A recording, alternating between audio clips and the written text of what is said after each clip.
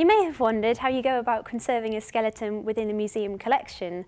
I guess one of the main challenges we face as conservators is how we treat bones, human bones with respect. One of the main challenges we also face when dealing with our Anglo-Saxon man here is how we tell his story to the public whilst maintaining this balance between respect for him and then telling his story both when he was alive and after his death. So what can we tell when we look at our Anglo-Saxon man? Well, you can see that he's buried with quite a number of objects. Now, the most specific things really are his sword, we have the bowl here, and we also have the spear, and they all point to him being quite a highly respected figure within his local community. So as well as his life as a man, as a human being, his life after death also reveals quite an interesting story in terms of the conservation treatment that has been carried out over the years. Now on his right femur we have traces of animal glue. This would have been used to bond some of the broken bits together. Um, there is also wire repairs in his right femur which look like they were binding the bone together again. Um, a wooden rod even's been inserted into this bone to try and strengthen it when it was put back together.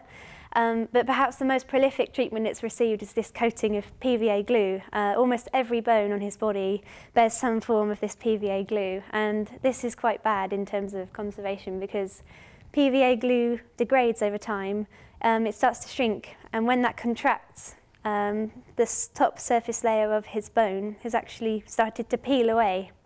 So with the conservation treatment I undertook, I really wanted to prevent further loss to the bone. So how to remove PVA from a skeleton? Now to do this I had to take a small sample of the PVA glue from one of the bones.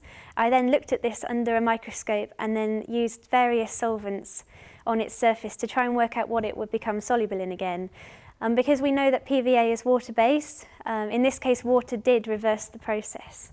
Um, there was a problem though, water will saturate the material because bone is so porous it's got this honeycomb matrix in the middle. Um, we don't want to oversaturate the bone. So consulting with other conservators from other museums, I came across the technique of using a solvent gel. Well, in this case, I use something called agar gel, which is normally found in science laboratories. They grow bacteria in the petri dishes using this material. So you mix up the solution, uh, you heat it up to boiling point, you allow it to cool to about 35 degrees, and then you're able to spread it across the surface of the bone. And this means that the solvent will be slowly released rather than saturating. Um, you leave it for about five minutes and then when the gel is rigid, when it's formed its matrix, you can peel off that layer and you're left with the softened version of the PVA.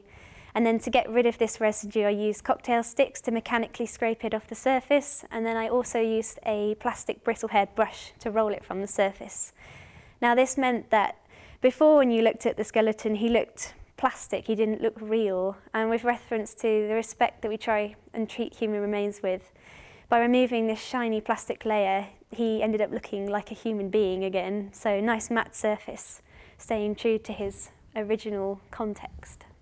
Conservation treatment of the Anglo-Saxon skeleton has aimed to preserve him in the context of his original burial environment.